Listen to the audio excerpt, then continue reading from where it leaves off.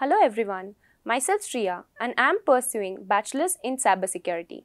Cybercrime have become very common in this internet era. With each cyber attack, the intensity of damage only intensifies and reach of this attack has widened.